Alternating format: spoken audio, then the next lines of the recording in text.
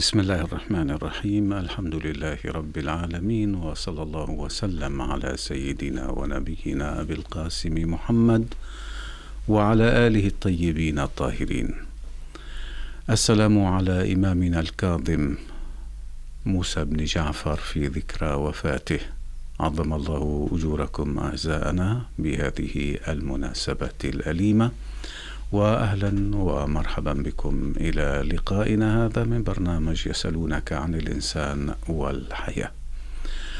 نحن معكم مباشرة على الهواء على أرقام الهاتف 01 853 804 853 805 و 853 806 وأيضا يمكنكم إرسال أسئلتكم على رقم الواتساب 76 64 94 19 ليجيب عليها اليوم سماحة الشيخ محسن عطوي. أهلا بكم مولانا وكل التحايا لكم. الله يديمك وعظم أجوركم بوفاة إمامنا الكاظم. سلام الله تعالى عليه. أجركم الله. وفقكم الله إن شاء الله. الله يسلمك. مولانا يقول إمامنا العبد الصالح موسى الكاظم عليه السلام تفقهوا في دين الله. فإن الفقه مفتاح البصيرة وتمام العبادة والسبب إلى المنازل الرفيعة والرتب الجليلة في الدين والدنيا. عندما يتحدث الإمام سلام الله تعالى عليه عن التفقه في الدين هل يعني سماحة الشيخ معرفة الأحكام الشرعية أم الولوج إلى الدين وفهم الدين أكثر؟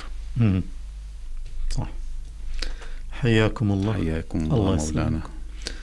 وحيا إخواني وأخواتي جميعا. السلام عليكم ورحمة الله وبركاته. عليكم السلام ورحمة الله وبركاته. بسم الله الرحمن الرحيم. الحمد لله رب العالمين. والصلاة والسلام على سيدنا محمد وعلى آله الطاهرين وأصحابه المنتجبين.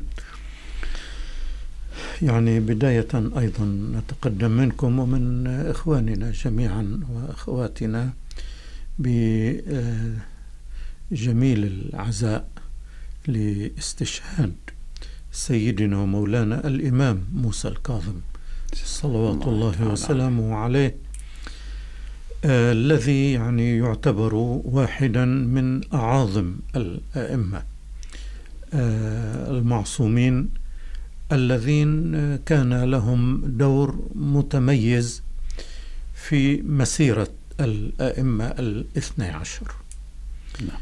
آه، حيث يعني آه، شاءت ظروفه أن يعيش آه، في فترة اشتداد الظلم العباسي على العلويين عموما وعلى أهل البيت خصوصا واستهداف التشيع آه، الذي صار ينمو كثيرا.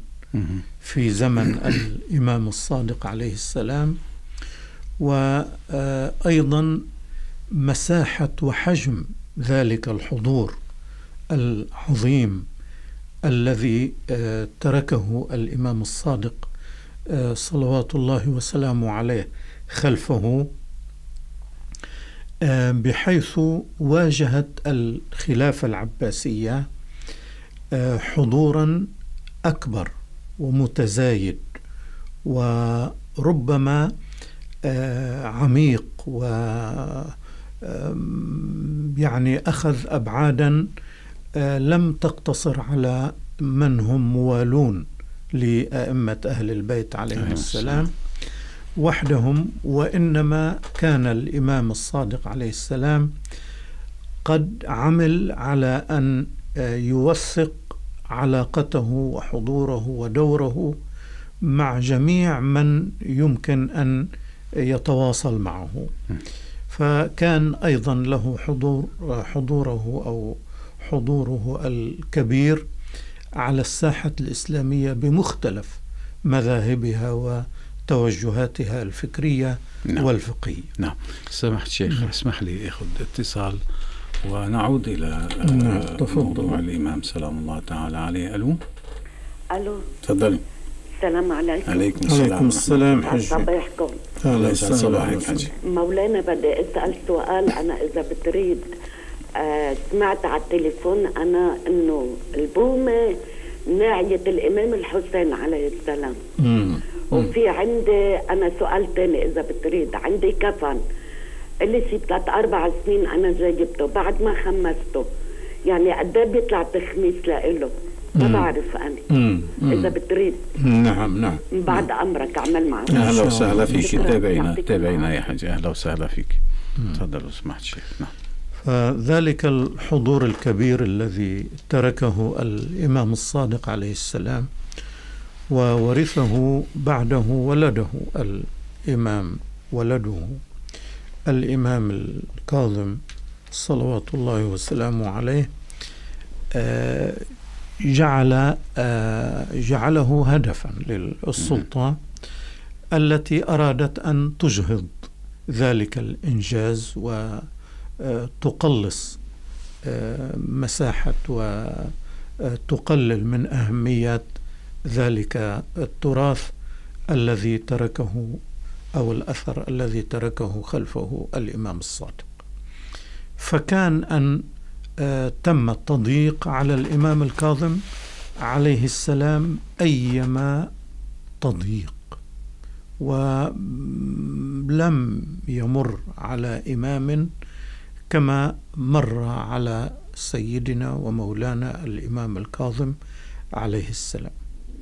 وكأني بالظالمين يعني يريدون أن آه، آه، يعني يحققوا فوائد لأنفسهم ولسلطانهم فيقلب الله ذلك عليهم ويجعله في صالح الإيمان والمؤمنين وفي صالح مسار الخط الإسلامي الأصيل لأهل البيت عليهم السلام. فكان أن تحول السجن آه، للإمام الكاظم عليه السلام والذي استمر فترة طويلة من حياته كإمام بعد أبيه. قاربت فترة الأربعة عشر سنة ينتقل فيها من سجن إلى سجن ومن مكان إلى مكان ويضيق عليه. كانت فرصة أن آه، يعيش مع آه، أهل ذلك العالم الذين يحرمون من بركات الإمام نعم. ومن حضور الإمام نعم وكان أن آه، يعني تنقله آه، في أكثر من سجن وفي أكثر من بلد فرصة لأن يلتقي بأكثر من آه، يعني آه، آه، قومية أو صنف من الناس وكان لذلك ما أراده الله سبحانه وتعالى من التمكين لمذهب أهل البيت وأيضا النشر لفضائلهم نعم. ويحكى يعني في هذا المجال حكاية عن تأثير الإمام الكاظم عليه السلام على من كان حوله من أهل السجون بل على السجانين أنفسهم إضافة إلى أنه قد كان له أصحاب شجعهم على أن يقتربوا من السلطة ليقوموا بدور معين وأشهرهم علي بن يقطين الذي كان يتواصل باستمرار مع الإمام الكاظم وهو في سجنه نعم. نظرا لقربه من السلطة. حتى أن الإمام سلام الله عليه كان يوصل له آه، بعض جزئيات تفاصيل أعماله فيروى مثلا وهذا. يعني أمر آه، يعني يبقى في سياق آه، الذكرى الجليلة لسيدنا ومولانا الإمام الكاظم عليه السلام أنه قد أرسل له من يطلب منه أن يتوضأ اليوم وضوء تقية فيغسل يديه نكسا آه. ال- واليوم بالتحديد يعني قال له في الوقت الفلاني إذا أردت أن تتوضأ فتوضأ تقية وفعلا تبين فيما بعد أن الخليفة بعث عيونا ليراقبوا علي بن يقطين كيف سيتوضأ وقد جاء ذلك الجاسوس عليه وأخبر الخليفة أنه قد توضأ بالطريقة الفلانية فكان أن دفع الله عنه ذلك وهذا أمر يعني آه، يستنتج منه آه، أن الإمام عليه السلام كان من خلال وجوده في السجن قادرا على أن يتواصل مع أصحابه وقادرا على أن يدير شؤونهم نعم. إلى هذه الدرجة من التفاصيل. فصلوات الله وسلامه عليه. محبوس نعم. ولكن كان في سجنه ولكن كان يدير الأمور كلها خارج السجن. نعم. نعم, نعم. بالنسبة للكلام يعني آه، إذا بدكم سمحت الشيخ يعني نعم. من أخر شوي الموضوع الثاني موضوع التفقه في الدين إلى ما بعد تمرير بعض الأسئلة سمع الشيخ يعني نعم. آه بالنسبة لسؤال خينا عم يقول أو أختنا ما بعرف بيقول نعم. أنا أصبحت بمنتصف العمر كل ليلة آه أصبح الموت أمامي يعني نعم. أنا يعني نعم يتفكر حسابي نعم نعم عم يقول ما بعرف هذا الأمر هل هو خشوع وخضوع وإيمان أم هو كآبة ومرض نفسي؟ برأيكم شو؟ كيف بتصرف يعني الأمر؟ يعني إذا كان بين آونة وأخرى يذكر نفسه فهذا أمر حسن وجيد وليس حالة مرضية. نعم. أما إذا كان هاجسا آه، يحضر باستمرار ويجعله في حالة من التوتر وعدم الراحة واضطراب في العلاقات وفي الآمال وفي الأعمال فأكيد هو ليس حالة سوية. هلأ ممكن ما تكون خطيرة يعني بس لأنه بتعرف موضوع الكآبة درجات كسائر الأمراض يعني. أحيانا يقتصر على شيء معين. إذا واجهنا آه، تلك الحالة في مراحلها الأولى أو بحالاتها البسيطة يمكننا أن نتخلص منها. بكل الحالات يعني ليس كل أمر حسن آه، يمكن أن يكون حسنا آه، في كل وقت. وبالتالي آه، مثل ما قلنا إن شاء الله يعني إذا كان هو أمر عارض ومن باب يعني يحسن بالمؤمن بين آونة وأخرى أن يذكر نفسه بالموت ويعيش حالة من الاتهام لنفسه بالتقصير وأن يستنفره ذلك من أجل أن يحسن علاقاته بمن حوله من أهل وزوجة وأولاد وأصدقاء وأيضا أن يعيش حالة الورع والكف عن الأذى وعن العدوان والإقبال على تدارك ما قصر فيه من عبادات وطاعات إذا عليه قضاء كفارات ما أشبه ذلك فهذا أمر جيد على الإنسان أن يحاسب نفسه بين فترة وأخرى ويحاول أن يحسن وضعه. وأما إذا كان لا حالي تصيبه بالإحباط وبالإرباك فمن الجيد أن يرى كيف يتخلص من هذه الحالة أه بيقول لو كان المرء يعمل في مكان وعند التنظيف اضطر أن يحمل زجاجة خمر فارغة هل هناك مم. إشكال شرعي في ذلك؟ لا لا. يعني زجاجة الخمر ليست خمرا.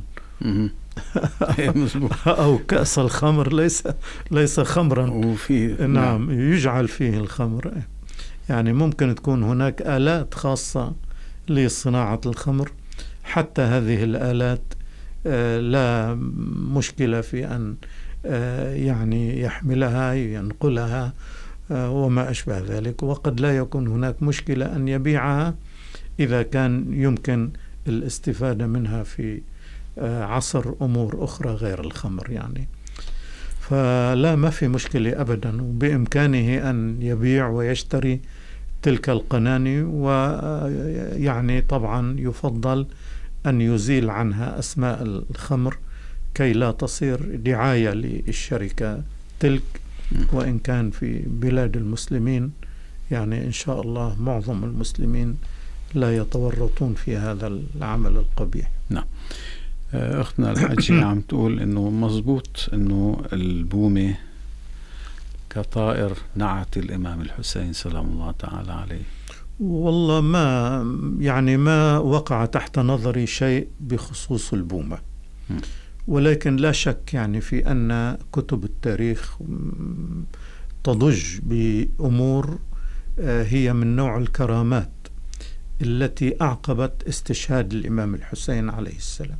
نعم. سواء كان لجهة ما يبدو ورد في أحاديث آه، أن أهل السماء بكوه وأن الأرض آه، ما رفع حجر إلا وجد تحته دم وأن السماء أظلمت وأحمرت وما أشبه ذلك وما نقل عن جواد الإمام الحسين عليه السلام وهذا أمر قد يحدث في أي جواد يألف صاحبه ويألفه صاحبه وتصير بينهم ألفة وانسجام. نعم قد يحزن أي حيوان على صاحبه إذا شعر أنه يعيش حالة من الإرباك وما أشبه ذلك. هذا أمر. أما أن البوم بالخصوص كان لها حضور في عالم الكرامات لا ما ما وقع تحت نظري هذا الشيء. تخميس الكفن سمعت شيء تخميس الكفن نعم يعني الكفن كسائر الحاجات التي أه، يمكن أن يقال أنه مستغنى عنها في حاضر الإنسان وفي حركته العادية. نعم. نعم هو أمر يحتاجه ولكن متى يحتاجه؟ ربما لطول مدة الاحتياج إليه آه، قد يبلى هذا الكفن. يعني كنوع من أنواع القماش قد لا يكون يبقى صالحا وبالتالي لا يقال أنه موضع حاجة. فلذلك لابد من تخميسه حينئذ إذا دارت عليه السنة ويرى قيمته في السوق. يعني لابد أن تسأل من عندهم خبرة بأنواع القماش وتسأل كم قيمته وتخمسه نعم. بيقول شيخنا إذا كانت الفتاة تقلد قديما مرجعا يكلف الفتاة في سن التاسعة أو لم تكن تقلد أحدا لجهلها بمسألة التقليد. بعد ذلك قلدت المرجع السيد فضل الله رضوان الله تعالى عليه. ما حكم الصلاة والصوم وغيرهما؟ إن كانت لم تصلي ولم تصم في سن التاسعة. يعني طبعا آه، كونها تقلد مولانا الإمام الراحل السيد فضل الله رضوان الله تعالى عليه حتى لو كانت تقلد غيره وكان يعتبرها تصير مكلفة في سن التاسعة آه، يمكنها أن لا تلتزم برأي المرجع السابق وتكتفي برأي مولانا الإمام الراحل السيد فضل الله. وبالتالي آه، إذا أرادت أن تقضي ما عليها مما فاتها تعتبر نفسها مكلفة من سن الثانية عشر والنصف أو قبلها إذا كان قد جاءتها العادة الشهرية قبل هذه السن. آه، ولا آه، يعني تكون ملزمة برأي المرجع الأول الذي كانت تقلده فيما لو كانت تقلد ذلك المرجع. هلا طبعا الاحتياط جيد يعني إذا أرادت أن تحتاط وتبدأ القضاء من سن التاسعة فهو أمر جيد حتى على رأي مولانا السيد رضوان الله تعالى عليه. يعني رغم أنه يرى أن سن البلوغ للفتاة هي هذه السن فإنه يحبذ لها أن تحتاط وتلتزم بالتكاليف الشرعية منذ سن التاسعه قمري. نعم. خينا أبو أحمد بيسأل إنه إذا كان آه، على التربة على السجدة هذا اللون اللي عادة بيصير. السواد. السواد هذا شو حكمه إذا كان؟ آه هل يعتبر عازل بعد اتصال لو سمحت نعم. لي. تفضلوا. السلام عليكم. عليكم السلام ورحمة الله. حصلت نجاسة على كرسي كرسي قماش يعني منجدة فأزلت النجاسة بقطعة بالأول وبعدين شلت الكرسي على المغسلة وصبيت عليها مي ثلاث مرات مع الضغط والكب برا. نعم. آه، هل هالشيء كافي؟ معلوم معلوم. كافي ونص كمان. الله يبارك فيك. ولغير مرة يعني نعم. حتى ما تتلبك هاللبكة كلها. نعم. آه، بيكفي إزالة عين النجاسة. نعم. وبتجيب كباية مي وتضعها على موضع النجاسة وتصب بقدر آه، مساحة حجم آه، عين النجاسة. ثم يكون معك يعني محارم طاهرة آه، ورقية أو خرقة. طاهرة نعم. فتضغط ذلك الماء ليمتص آه، ما دخل في الكرسي آه، وبالتالي تحصل الطهارة وصلى الله وبارك على رأي مولانا السيد آه هو وإذا يعني بدك تزيد حالك احتياط فيك تنشف بعد ما تصب أول صبة وتلقي ذلك الشيء الذي جففت به ثم تصب صبة ثانية وتنشفه وذلك الشيء الذي نشفت به يعتبر طاهرا ويطهر الموضع على رأي جميع الفقهاء. ما في داعي لل- للكبس يعني والشطف اللي أنا عملته على الكبس لحتى يعني إذا ما كانت بتطهر من أول مرة كما هو رأي مولانا نعم. آه لابد أن آه نجعل شيئا ليمتص ذلك الماء يعني القسم الأول من الماء الذي وضعناه على الكرسي يعني آه. عمليا الكبس لحتى آه، نسحب هو الماء؟ بس آه. آه. آه. نعم. آه، قصدك يعني الكبس آه هو هذا الهدف منه أنا إخ- صراحة إخراج ماء الغسال الأول أنا نعم أنا حطيت الكرسي فوق المغسله صرت صب مي واطفشهم بحر يا خيي بحر بحر بلا ما تكبس وبلا شيء. على رأي مولانا آه، بيمشي الحال إيه؟ يعني ال- الكبس ما له ما له داعي. على رأي بعض الفقهاء نعم هو جيد ب- والاحتياط جيد. آه. أوكي. يعني صار عم يشتغل بالماء الكر إيه لأنه عم تشتغل بالماء الكثير. نعم. آه بعض الفقهاء يعني رضوان الله على المتوفين منهم وحفظ الأحياء يرون أن تطهير ال- الثياب وما يشبهها لا يتحقق إلا بإخراج الماء الذي دخل فيها. بس يعني على كل الاحتياط جيد. على رأي مولانا ما في مشكلة. يكون قطعت مثلا السجادة مت- متنجسة إيه. شيخنا إيه. وزيلت عين النجاسة ونحطت تحت الشتاء. آه تحت الشتاء بيمشي. الحال آه أها. تحت الشتاء ما في حاجة لعصرها وعصر. ولا كبسها صح. نعم. صحيح. طيب إذا السجدة شيخنا وقت تسود شو الحكم؟ آه ما في مشكلة. ما في مشكلة. يعني يعني الناس لما بتحكي بهذا الموضوع آه بيحكوا على قاعدة أن ذلك السواد هو جرم آه ليس له علاقة بالأرض. مم. يعني هي آه، طبقة من الأوساخ التي آه، صارت تغطي آه، تراب تلك السجدة. والحقيقة؟ والحقيقة أنه هذا لا يحصل ولو بسجود عليها لمئة سنة. لمئة سنة. لمدى الدهر يعني؟ لأنه أصلا أوساخ. أصلا يعني آه، يعني إنما تسود هذه نتيجة يعني الزيوت اللي قد يفرزها الوجه. ما بتأثر هاي الزيوت. هذه الزيوت يعني مش معقولة تتراكم وتصير جسم حاجز ما بين التراب الذي آه، تشكلت منه هذه التربة وما بين آه، جسم الإنسان لا. فما في إشكال عندي أنا ابدا يعني.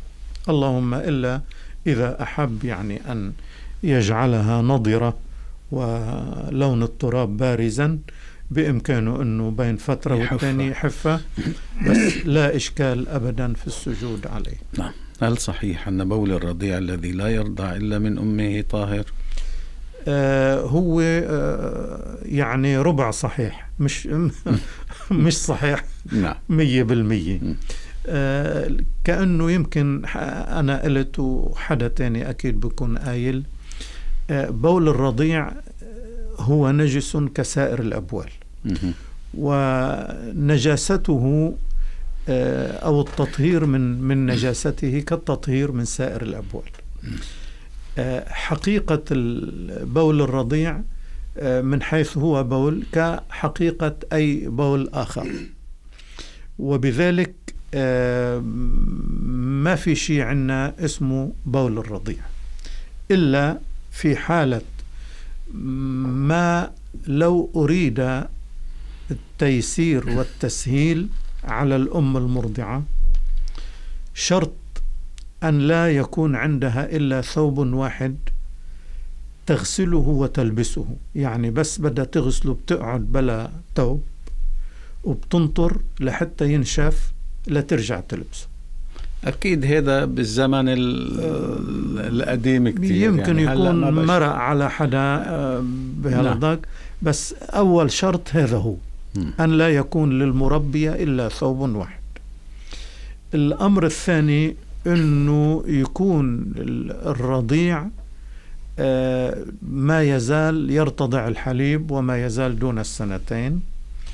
والأمر ال- الثالث أنه هذا مش أنه هو معفو عنه في الصلاة مطلقا.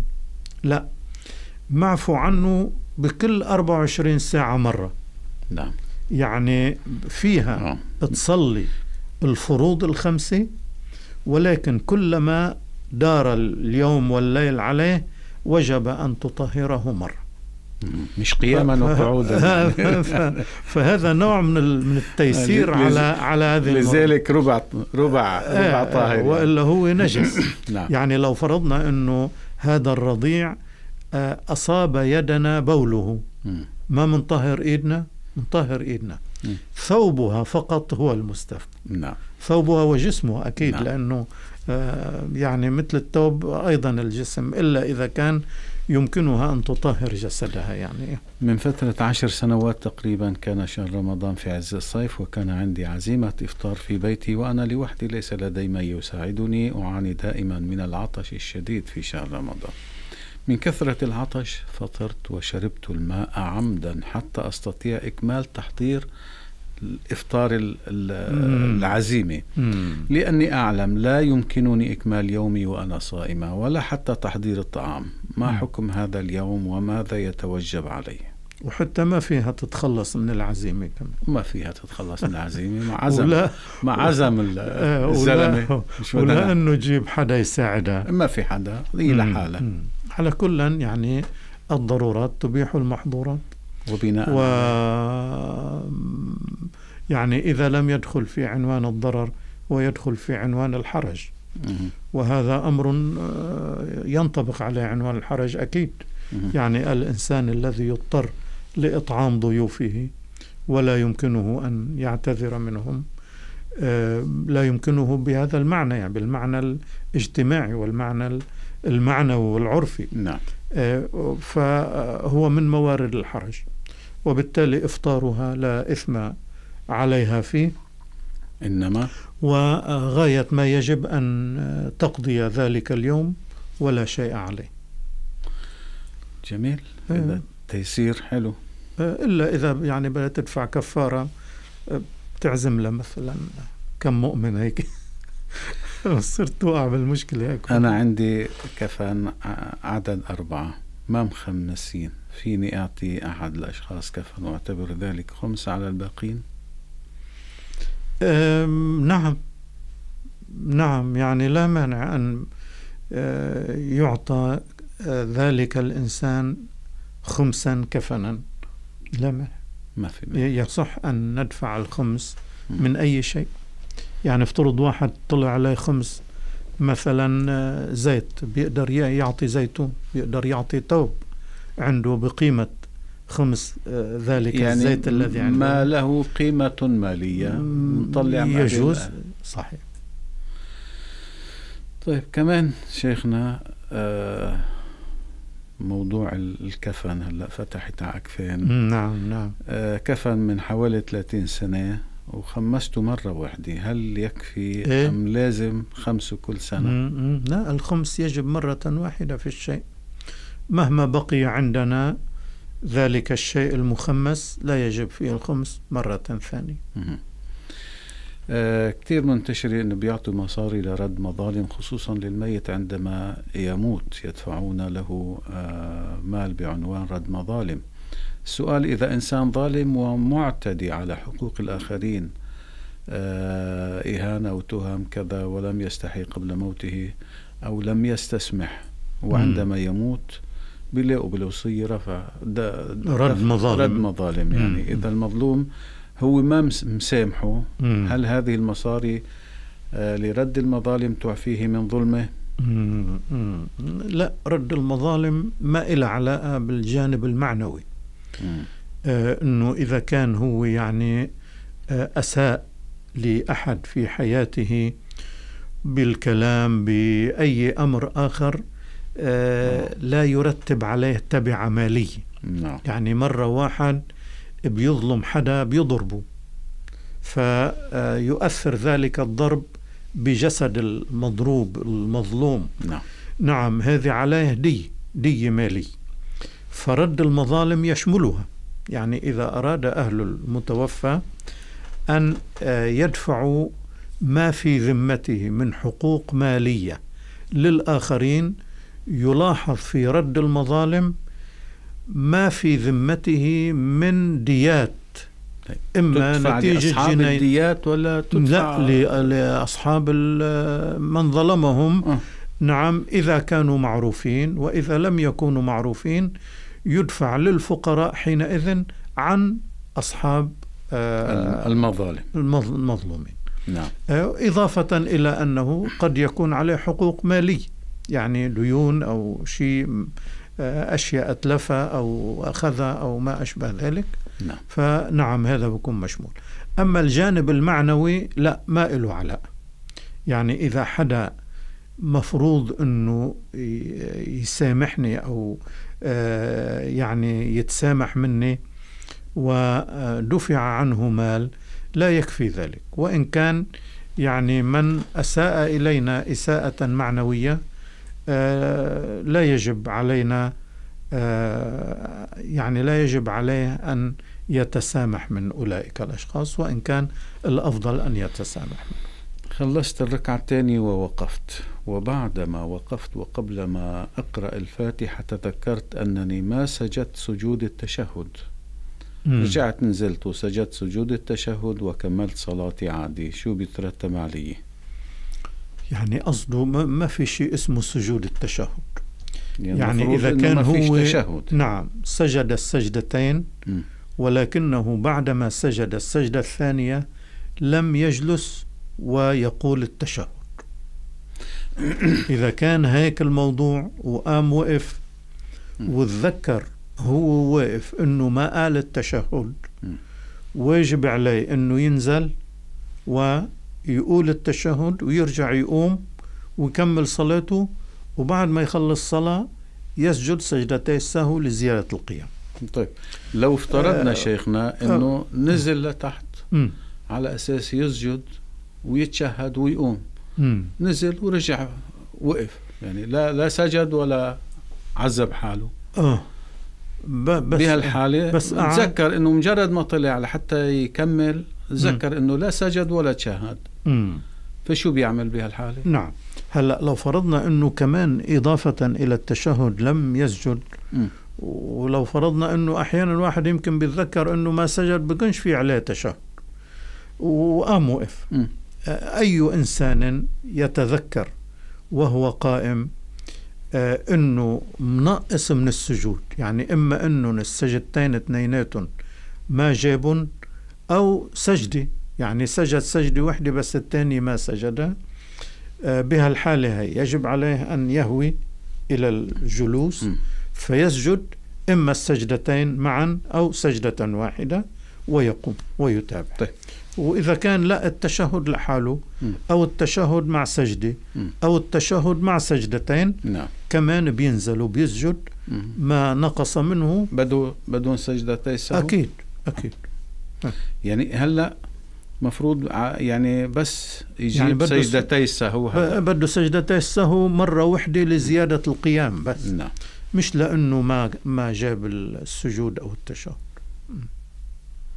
نعم لو أنه ما تذكر إلا بعد ما ركع ساعتها إذا كان آه، فعلا مش ساجد السجدتين صلاته باطلة. نعم. لأنه نقص ركن.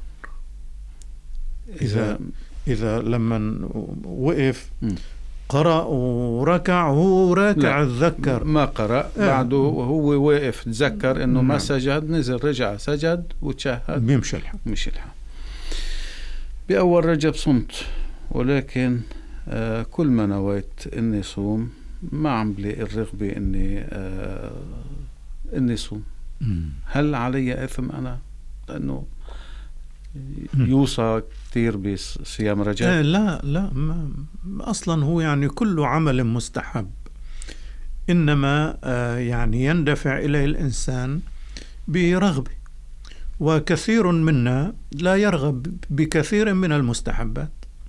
لأنه إذا بدك تحكي بأعمال مستحبة في كثير يعني مش بس الصوم. نعم. انصراف الإنسان عن الصوم المستحب كانصرافه عن الصلوات المستحب. كانصرافه عن الصدقات اللي هي مستحبة وما أشبه ذلك من أعمال الخير. ولكن جيد يعني إنه يخلي الواحد مننا نفسه تهتم بالمستحبات بقدر ما يمكنه.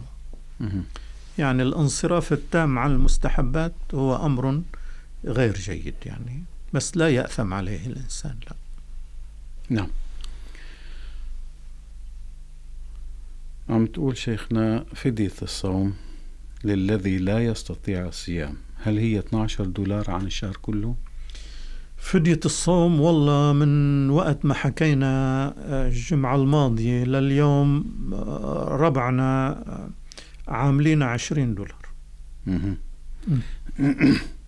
يعني صار فدية شهر الصوم عشرين والكفارة الكبيرة ثلاثين نعم والسبب هو المشكلة بأسعار المواد الغذائية. نعم. ومعلوم يعني أنه يبدو بهالفترة هاي زادت المواد الغذائية. نعم. إذا يعني كان 12 دولار على سعر الطحين في ذلك الوقت التشهد والتسليم شيخنا شو هي صيغته السليمة؟ بسيطة يعني التشهد واضح أشهد أن لا إله إلا الله. وحده لا شريك له وأشهد أن محمدا عبده ورسوله اللهم صل على محمد وآل محمد التسليم يكفي أن نقول الصيغة الأخيرة والثالثة السلام عليكم وأيضا هالجزء الأخير ورحمة الله وبركاته كمان هذا مستحب. يعني ال- المقدار الواجب من التسليم هو فقط عليكم. قولنا السلام عليكم. هلا يفضل أن يسلم على النبي أولا صلى الله عليه وآله وسلم فيقول السلام عليك أيها النبي ورحمة الله وبركاته. والفقهاء يعتبرونه تابعا للتشهد آه، لأنه يأتي بعد قولنا اللهم صل على محمد وآل محمد. ثم نقول السلام علينا وعلى عباد الله الصالحين. ثم السلام عليكم ورحمة الله وبركاته. نعم آه، هل صحيح أن الإمام المهدي يحكم أربعين سنة قبل يوم القيامة؟ في كلام من هالشكل وفي كلام أنه يعيش سبع سنين هلا بيحكم أربعين مبحبحينهم يعني. أنا آه، هلا ببالي- بعد بعد فترة الإمام الحجة سلام الله تعالى عليه في قيامة ولا آه، بعد في حياة أخرى؟ ما عم أقول لك يعني القصة م- مش واضحة إنه مثلا في عنا بعض الأحاديث بتقول إن بعد مهديكم هذا اثنا عشر مهديا. طيب اثنا عشر مهديا أكيد مش أئمة معصومين. لأنه في عقيدتنا الإمام الحجة عجل الله تعالى فرجه هو خاتم المعصوم. فإذا توفي يعني آه، سيكون من بعده حكام مهديون يعني على طريقته. آه يعني الدولة المهدوية آه، دولته. نعم. هلا 12 مهدي قديش يعني تستمر الدنيا فيها؟ آه، يسألونك عن الساعة أيان مرساها؟ فيما أنت من ذكراها إلى ربك منتهاها. نعم. آه، وبالتالي علمها عند الله سبحانه وتعالى في كتاب لا يضل ربي ولا ينسى. ف يعني إذا قيل أربعين سنة فهو من نوع آه، الرموز أو الأشياء المجازية أو ما أشبه ذلك.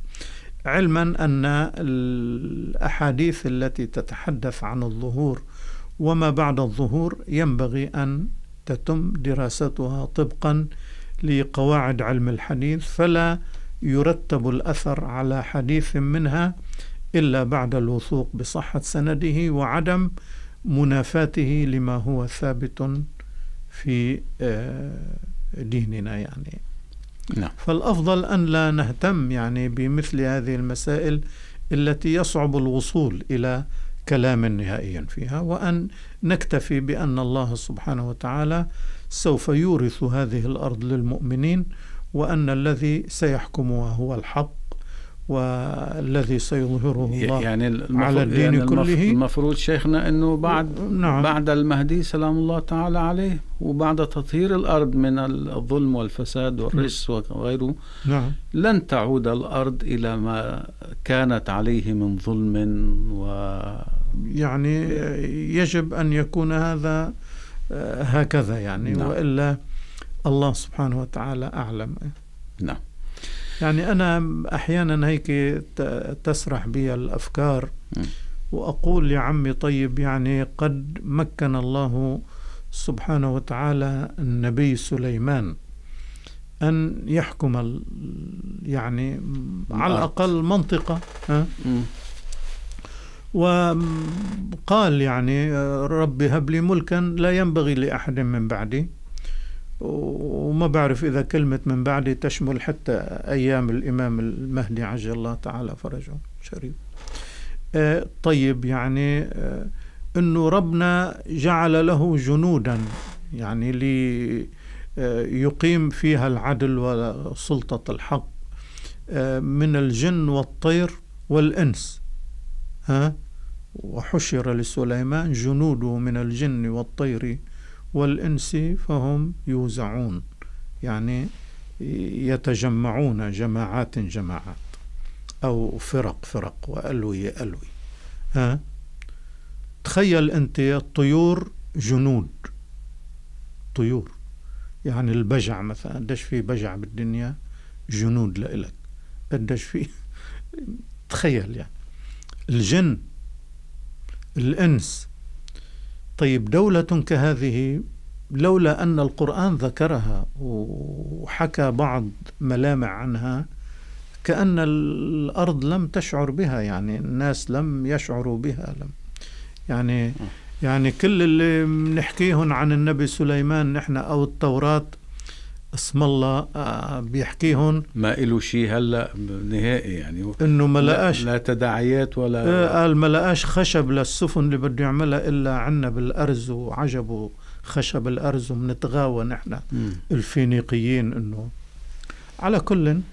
فالشاهد إنه لا نعلم ما سيحدث آه، نعم. شو الوتين شيخنا؟ الوتين ثم ملتقى الرقبه والكتف. آه. قطعنا يعني منه الوتين كأنه الحبل الرئيس الذي آه، يصل الأعصاب بالبدن. يعني لقطعنا له رقبته أي ما يشبه ذلك. عندي صديقة بدون أولاد زرعت أربع مرات وما نجحت. صار لها عشرين سنة. عم بتحاول وفشلت نصحوها باستئجار الرحم. هل يجوز أم لا يجوز؟ يعني يجوز بس على رأي مولانا الإمام الراحل رضوان الله عليه. السيد فضل الله لازم تكون المرأة التي ستعير رحمها زوجة لزوجها. زوجة للمرأة العاقر. آه وبيمشي الحال. يعني, يعني في في زوجة بده يعقد عليها آه يعقد عليها حين يراد وضع النطف فيها. يعني ثم بعد ذلك تستأجر رحم بدها آه. تستأجر مرة لزوجها. نعم. عريتك. يعني آه، يعني في فترة التلقيح ولو لم يتماسا يعني المهم يكون آه، حلال عليها. آه، ثم بعد ذلك إذا طلقها آه، نعم بتصير بصير عنده أم عنده ولد عنده ولد عنده ولد. وهي عندها ابن ابن زوج نعم. بتصير. بس في حدا آخر. م.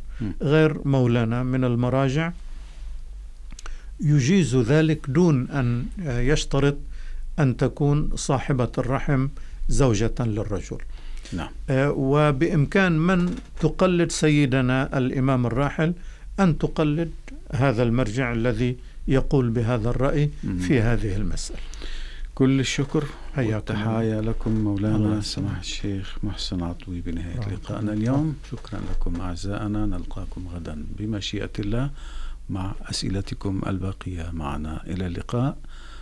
السلام عليكم ورحمة الله وبركاته.